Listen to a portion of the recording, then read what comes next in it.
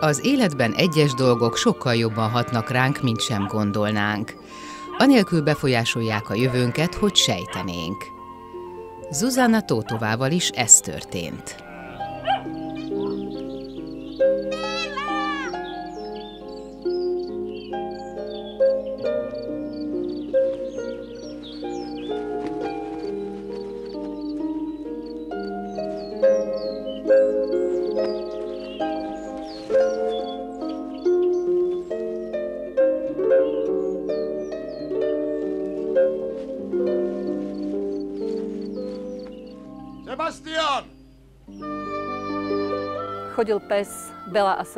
Még gyerekkoromban történt, hogy a Bellé Sebastian című filmet vetítették.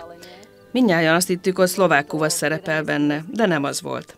A főszereplő a Pireneusi hegyi kutyafajtához tartozott.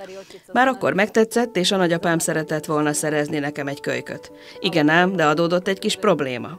Kuvaszt lehetett ugyan találni, de akkoriban Szlovákiában még elég keveset törzskönyveztek. Csehországban jóval többet. Meglehetősen új fajtáról van szó. 1929-ben Antonin Hruza állította össze a fajta jegyzéket, és megemlítette benne az első szlovák kuvasz almot. Négy évvel később már tenyésztői klubot alapítottak, és 1965-ben önálló kutyafajtaként törzskönyvezték.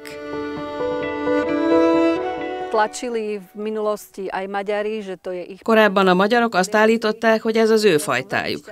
A lengyelek is a magukénak vallották.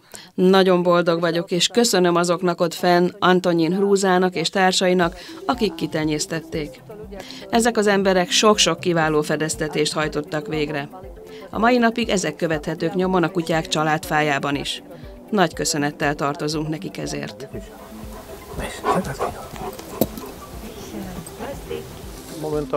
A tenyészállomásunkon jelenleg hat állatunk van. Közülük négy a szuka, ebből három van tenyésztés alatt, kettő pedig tenyészállat. Általában nyers hússal etetjük őket, ami a gondozásukat illeti természetesen megkapják a szükséges étrendkiegészítőket is, akár a szőrüknek, akár a forgóiknak van rá szüksége. Rendszeres mozgást igényelnek, sokat kell futtatni őket. Természetesen a bundájuk is sok törődést igényel, rendszeresen fésülni kell őket. Minulosti, keď som čítala slovenskí čuvači e, na, na Azt olvastam, hogy a szlovák kuvaszkutyák régen főleg a juhászok őrkutyái voltak. Nagyra értékelték, hogy fehér a szőrük, ezért a sötétben sem tévesztették össze a kutyákat a nyájra támadó farkasokkal vagy a medvékkel. Ez a kutya a sötétben is látható. Még ha napközben láncon is tartják őket, éjszakára elengedik, hogy megvédhessék a területüket.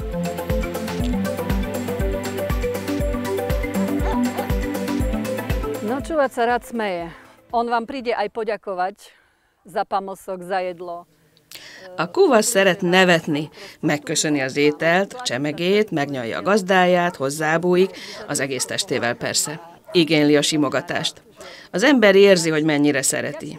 Hálás, hogy van gazdája, hogy vele lehet. Nem tudom, hogy más kutya is képes erre, de számomra a kuvasz az emberi lélek megmentője. Azoknak ajánlanám, akik igaz barátra, társra vágynak. Egyébként a fajta tartása, etetése elég egyszerű, nem igényel semmilyen különleges bánásmódot. Ami az időjárási körülményeket illeti, ez a kutya mindent bír. Az elsőt, havat, hideget és a fagyot is. És ez nagy előny, mert tényleg nem igényel különleges bánásmódot.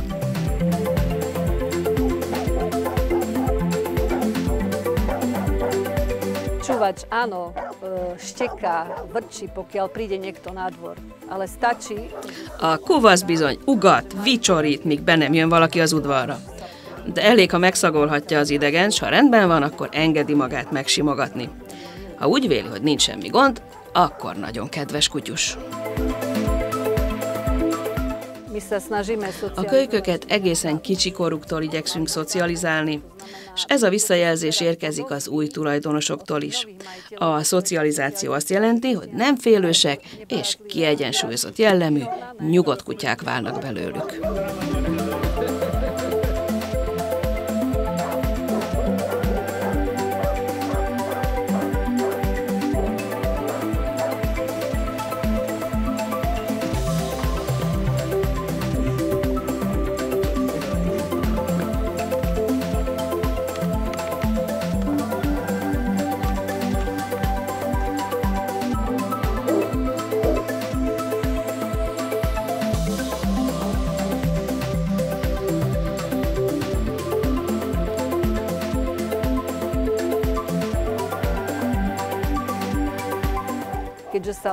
Már ötödik éven nálunk rendezik meg a nemzeti fajták kiállítását.